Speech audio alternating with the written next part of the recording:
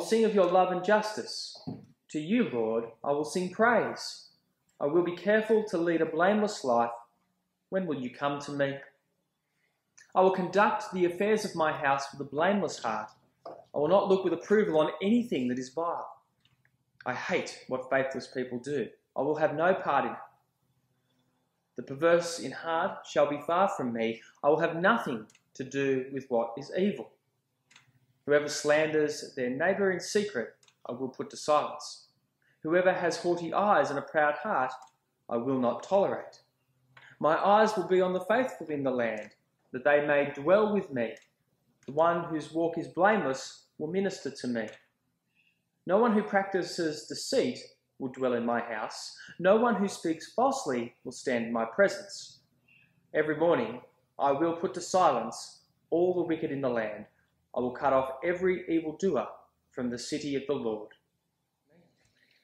As we turn to the psalm, there's a little saying that I want us to consider briefly to begin with. Uh, it's a saying that you may have heard, you may not have, but I certainly have heard it a lot. And that is, people often say something along the lines of, Christians are just like everybody else, only forgiven. Now, I want to ask what's good and what's bad about that statement, because there's certainly a lot that's right about it, and we want to be clear that, yes, it's protecting something important, isn't it? Uh, Christians, we, we should know, I hope, that when we come before God, it's not because we're better, more deserving, there's anything innate within us that somehow makes you and I more deserving than people out there of God's love and mercy. Uh, in fact, it's God's love and mercy because it's not something we can earn. And so, in that sense, it's true. Uh, we are simply those who have heard and understood and, and responded to the message of Christ. And that's a message that's open to anyone who would have it. Right? And so, there's something right about wanting to protect that. Where I find it can be a bit tricky, though, is sometimes people will say that kind of thing as a way of defending living just like everybody else. You know, we want to avoid being seen as holier than thou, another, another one of those great sayings. And so, you know, we, we, we ignore what God says, we do our own thing, and we remind ourselves that, oh, you know, Christians are just forgiven people. Now, the problem with that, of course, is that Christian life should be characterized by holiness, shouldn't it?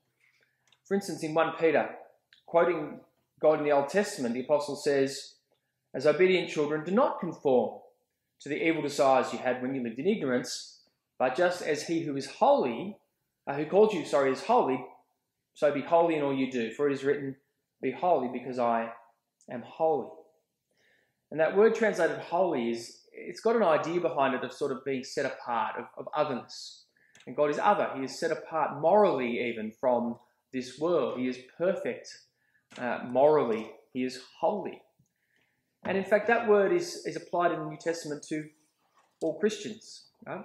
We're not, not just thinking about the kinds of people who get memorialized in stained glass windows and those kinds of things, you know, moral giants who do great things. Uh, the Bible, the New Testament, constantly addresses all Christian people as the saints, those who are set apart in Christ Jesus for his service. So, again, last thing I want to do is suggest that any of us are more deserving. We know that that's not true. None of us are more deserving than anyone else of God's favour, God's mercy. But if we've come to know that truth of what Christ has done, and it doesn't lead to a different life, then we need to ask ourselves some serious questions because what have we missed? Uh, we've missed something important within the gospel if we think that that's what God has saved us for. And with that in mind, I'm going to turn to Psalm 101 uh, because I think it helps us deal with this, uh, this question of, of living life for Jesus. And in particular, if we were to sum up the psalm, I would say it says something along the lines of worship God with integrity. We want to worship God with integrity. And you can see it sort of in the first two verses there. If you've got it open, notice first we have a statement of belief. David says, I will sing of your love and your justice, and I will sing your praise. So God is loving, God is just, He knows these things. He knows that because of that, he is praiseworthy, and David makes statements about what he believes to be true and right about God. But then he immediately follows it then with a whole list of things about how he will now respond to the truth he knows. So I will be careful to lead a blameless life. And he goes on, I will conduct the affairs of my house with a blameless heart. And that word blameless uh, is not perfect. It's not saying, he's not saying sinless. Uh, it's, it's a word that means something more like integrity. That's the word, for instance, that God uses of Job. If you're familiar with the book of Job, one that's blameless in his sight. Uh, but by both Job's and God's words, we know that Job certainly was not sinless. Uh, the thing about Job and the thing David is striving for is that what he wants is to live a life outwardly that matches what he says he believes inwardly. Right? So he wants to have integrity in that sense. He wants to outwardly live in a way that is in line with what he says he believes in his heart. And it's this desire that the Bible talks about constantly uh, as true worship of God. Maybe most famously, Romans 12. Therefore, I urge you, brothers, in view of God's mercy, to offer your bodies as living sacrifices, holy and pleasing to God. This is your spiritual act of worship. Do not conform any longer to the pattern of this world, but be transformed by the renewing of your mind. Then you will be able to test and approve what God's will is his good, pleasing, and perfect will. Right? So what Paul is saying is, is the same, more or less, what David is saying. He's saying, if I'm devoted to God, if I've come to know the mercy of God, the love, the justice of God, once I know his character, it will mean I'll strive to be conformed to his will rather than to the world around me. I'll strive to live as a living sacrifice in Paul's language or a blameless life in David's. See, worship is really, fundamentally, it's about knowing God, but then being externally the same as we are inwardly. All the rites and the rituals in the world can make no difference if we don't get that right first. And we need to understand that. Now, that's important for a million different reasons, but let me give you one big reason that this is incredibly important before we ask how we can do it. And that is, as we know, the world is watching, isn't it? Uh, you'll all be aware, for instance, that there was a, a huge royal commission that wrapped up a couple of years ago. And it was a royal commission into the institutional responses to child sex abuse. And if that title kind of surprises you, uh, it's because I, I, think you could be forgiven for thinking it was purely a royal commission into what churches had done and the issues around churches and pedophiles amongst different church groups. But of course, it was a it was a royal commission into everything from government-run boarding schools down to the local soccer club and scout team, and there were failings all across the board.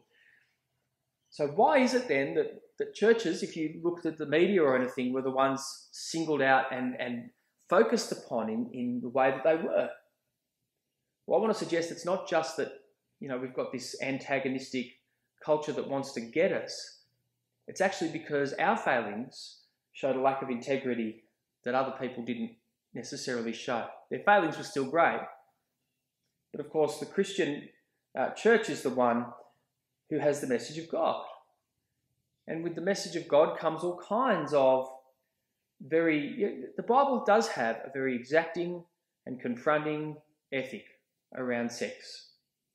We know that if we're honest about what it says, uh, it's, it's very particular. And it's got a lot to say about God's concern for children as well, by the way. you know, it, God calls us to a high standard. And we rightly want to speak about that standard, don't we? We rightly want to hold each other to account and we want to tell people the goodness of what God has designed. But when we do that, when you when you make those kinds of moral claims and then you don't live up to them, what are people going to do? They're, they're watching. They see us. And I can tell you now the result is, if, certainly if you have an experience that I have, uh, because of my job and because that becomes obvious to people, people will, will look at us and when you make a moral claim about anything as a Christian, just about, there are certain people who will say, well, you know what, if there is a God, and I'm not convinced there is, but even if there is a God, this group of people, you know, the church certainly doesn't speak for him. Or if they do, if, if, if that's really what Christianity is all about, I want nothing to do with it. Why? Because we have failed to live up to the kinds of standards God has set. Now, it's not just in that, that's a big picture thing. But we all know it's true with the small stuff, isn't it? That if we uh, go about gossiping or lying or slandering, uh, if we rip people off and are dishonest in our dealings, if we obviously drink too much on social occasions and all those kinds of things, and we're just nasty to people, uh, the world around us sees that, and they kind of they know that those things are not what Christian Christianity is all about. And even if they don't, Uh, they know those are not the most attractive traits. And so, again, they form their basis of their judgment of, of what we are on about, of who God is and, and what Christianity is, based on seeing us. But of course, the flip side is true as well. Uh, people will notice if, if we're loving, even with those that we disagree or that we might not naturally gravitate towards. Uh, if we bear with one another, even if we're, you know, that's a difficult thing. If we're kind and generous, if we're honest, even at our own expense, uh, if we refuse to be part of slander and gossip and all those things, yeah, if we do all those things that God calls us to, again, people notice, don't they? And people will, they will come down, you know, they'll, they'll watch that and they'll draw their conclusions about what Christianity is about from watching us. So we need to take that seriously. You know, the, the research actually suggests that there will be people in your sphere of influence, in your family or your friendship circles, uh, in social groups, all kinds of places, where you may be the only Christian that some of these people know. That's the world that we now live in. Uh, there are you know, a lot of people who know almost no Christians. We need to take seriously, they're, they're not coming here to find out about what God's about. They're not opening the Bible and reading it. They're not interested. But they are watching. They are watching what those who claim to be God's people do. And they're drawing their conclusions. And so we need to ask ourselves are, are we striving to live outwardly the same as we claim to be inwardly? Uh, are we showing the goodness of God's design in this world by the way that we live? Not, not that we'll get it perfectly. And of course, we need to be repentant when we mess up. But are we at least striving and showing that this matters to us and that we want to be different? Now, as we ponder this question, the psalm actually has something to say that will help us to do it. Right, so we, we have something here that will help us. And what David talks about next is filling our hearts. You'll notice that after verse 2, really verses 3 through to the end, through to verse 8, he makes a bunch of affirmations about what he will or won't do.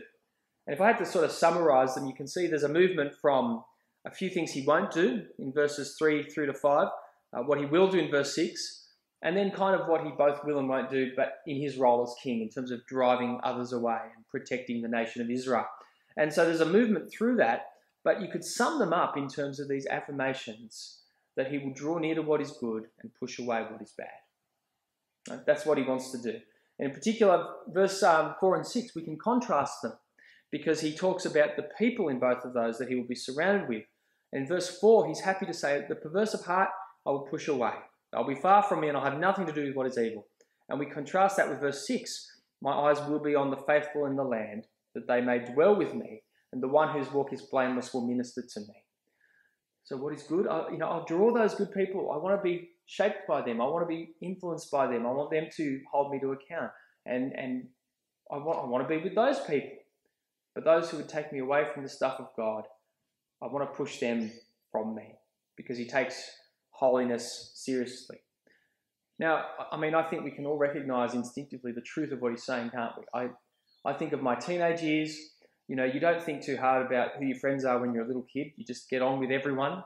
You grow up and everyone sort of experiments and you discover life and all sorts of things go on. And some of them are helpful, some of them are not very helpful. Certainly, I had friends who despite claiming and always believing myself to be a Christian, uh, you, you, know, you, you go along with the crowd, and and and I was influenced to the point where if you even some of my closest friends would have looked at me and and say nothing to assume that I actually believed in in Jesus. Uh, there was nothing in my life that would tell you that. Why? Because of the influence in large part of those around me. But I can say the opposite is true. Uh, the, the, key moment for me in my walk with Christ was, uh, you know, I went along actually to marriage prep in my early 20s and we, we read the Gospels. I was confronted by this Jesus person and actually meeting again with God's people after that had a different sort of social pressure, one that was much more positive and helped break down many of the bad habits, if you like, that I'd picked up, the poor influences, the ungodly ones. So we all need to realize we're, we're not immune we're not the special ones who are immune from the influences of the world around us. Uh, so we need to look to David's example, don't we? Watch the faithful, listen to them, be ministered to them by them. The wicked, we want to not allow them to shape our lives. And again, Paul says the same thing in that Philippians reading. You know, that's one of the one of the passages which, if we surveyed everyone in the church, you'd probably find was one of the common favourites, uh, and it is beautiful. But he, what does he tell us? Finally, brothers, whatever is true, whatever is noble, whatever is right, whatever is pure, whatever is lovely, whatever is admirable, if anything is excellent or praiseworthy, think about such things. Whatever you have learned or received from me or seen in me, put it into practice, and the God of peace will be with you. And if you read the message of that whole letter, you can see what, he, what he's talking about is the gospel of Jesus. Right? He's talking about the Christ in chapter 2 who left the glory of heaven in order to be made man and to die even on a cross for our sake. The one who in chapter 3 uh, gives us such glorious righteousness before God that the best that we can do is, is rubbish. The best that Paul could do, he says, is rubbish the one who sustains Paul, who has he's in chains. And he's saying, look, look to Jesus. And in fact, even he says, look at me as I follow him. Look to Paul's example. And so again, do we take his words seriously? Uh, do we seek to know God more? Do we seek to, to read his word, to, to take the time to dwell on it and understand it better, to ask how it impacts on our lives? Do we surround ourselves by people who might be able to be an example as Paul was an example to the Philippians. More mature Christians, or even other, just long time Christians who can spur us along and be an example to us. And on the flip side, do we do we think hard before we accept? Are we wary of things that might influence in, a, in an ungodly decision? You know, when the media we consume or the philosophies of life that we allow to get in between our ears and shape us. You know, are we careful ultimately to fix our eyes upon Jesus? Do we read about him, read about his life, meditate on his words, and let them sink deep? That's the question before us, isn't it? Because that's the thing that will, will, will change us, and in particular as we meditate on his cross. Because David's saying of the love and the justice of God.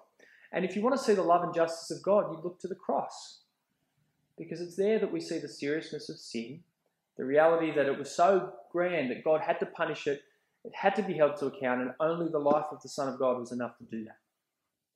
But we also see that the love of God is so great that He would, Jesus wouldn't take that, you know, He wouldn't count that as too great a cost. He would willingly pay it for you and for me. Now, if we want to live with integrity, we need to understand that, don't we? We need to so fill our heart with that that it overflows. That we, we, we so love what Christ is and what he has done, that all that other stuff really does become just meaningless, even repugnant to us. But it's only as we meditate on the reality of what he's done, the sin he saved us from, and the inheritance he saved us for, that we'll do that. And I don't think it's any coincidence that not only when you read the Gospels, uh, they often, you know, they often look more like just a narrative of, of the death and resurrection, a passion narrative with a bit of an intro almost.